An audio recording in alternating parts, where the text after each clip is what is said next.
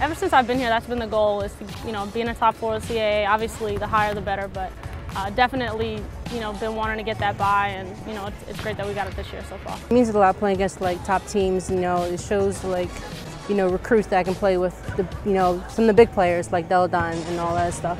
In Delaware was a game where my, my players were close to playing their best, especially here. You know that you had everybody really having a good game. You know, Shantae, um, kind of struggled a little bit in that game. You know, Candace Bellacchio had 21 points, Caitlin Loper, you know, and then and then we, um, you know, of course, then Delle Donne's had her career high on us both, 41 one time, 42 the next time. We need to do a better job of how we're going to try to contain her, you know, and, and changing up our defense a little bit more next time we play them. And there's no argument with that. You know, we had those two losses, and then we turned it around and beat Mason at Mason, and then we had Delaware that Thursday, um, and you know, and, and, then we turned around the following Thursday and played JMU. So we knew we had to, we had, had tough, tough games down the stretch. Good thing about conference is that we have you know top teams like Delaware and JMU. You get to see them like twice throughout the whole year.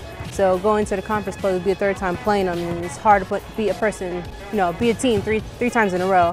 So it definitely helps us. I mean, we watch film, we go back and see where we went wrong, and we pick, um, put that in play for when we play them. We've beaten two teams that are ranked in the top 15, and our RPI is close to 50 right now. Um, those wins are what keeping us viable candidate for the NCAA still, depending on how well we do. She's been consistent throughout the whole year with practice. Uh, you know, towards the end of the year, I mean, maybe less time in practice since, you know, keep our bodies, keep our legs going because, you know, 30 games in season, you know, your body's time starts to wear down. The beginning of the year practices is obviously a lot of defense, a lot of fundamentals, barely touching basketball is just like a lot of, you know, fundamental stuff that she needs to ingrain in our freshmen and, you know, lay the foundation for. And they're a lot longer practices in the beginning of the year.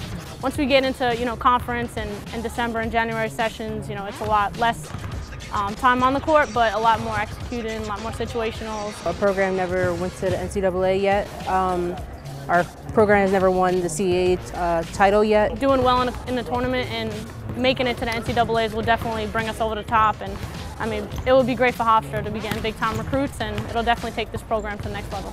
You know, it's, it's where we are striving to go. It's, it's where personally as a coach, what I've kind of committed to Candace Bellacchio and Nicole Caparso and Marie Malone about, you know, we have the quality team, quality program, quality university, um, and we want to be, you know, contending with the big BCS schools. We want to be playing at that level.